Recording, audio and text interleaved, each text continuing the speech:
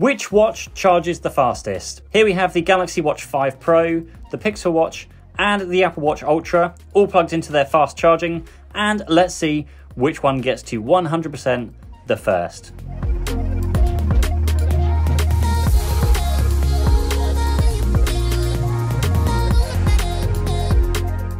And it looks like the Pixel Watch takes the win with 100% in the shortest amount of time.